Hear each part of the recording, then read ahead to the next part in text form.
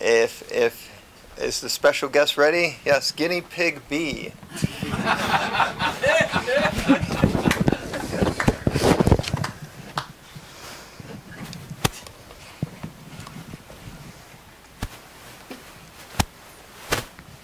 As a consequence of the foregoing, I then said,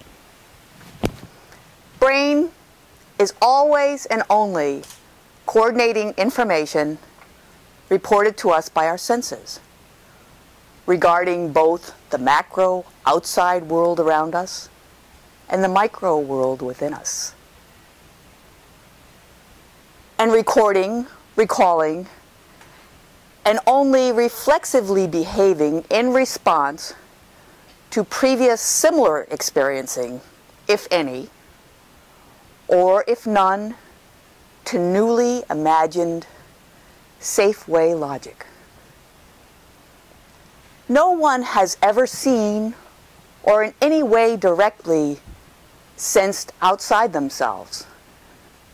The brain is a smell, touch, sound and imagination, teleset, whose reliability of objective image formulation has been since all childhood so faithful that we humans soon become convinced that we are sensing directly outside ourselves, whereas no one has ever seen or heard or felt or smelt outside themselves.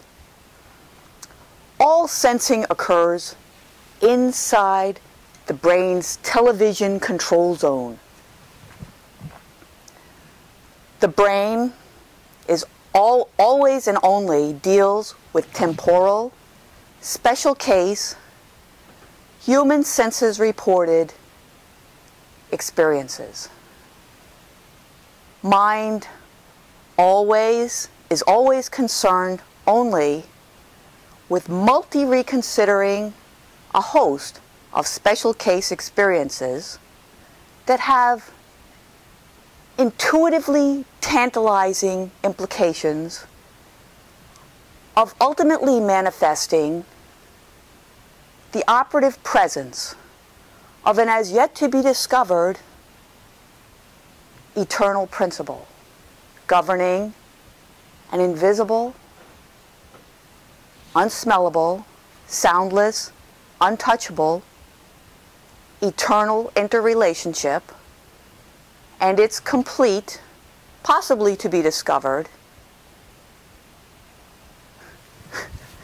constantly co-varying interrelationships rate of change. Such principles, whether discovered or not, are intuitively held always to both embrace and permeate all special case experiences. I happen to have been born at the special moment in history in which for the first time there exists enough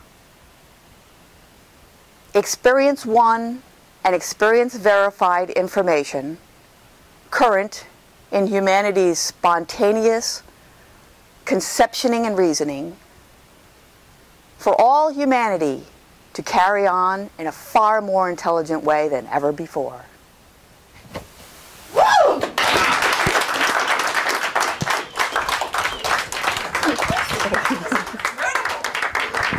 Four sentences.